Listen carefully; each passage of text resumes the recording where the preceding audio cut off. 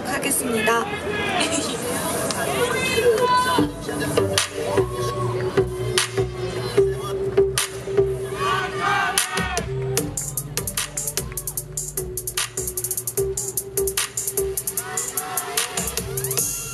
아침부터 정신없이 움직여야 돼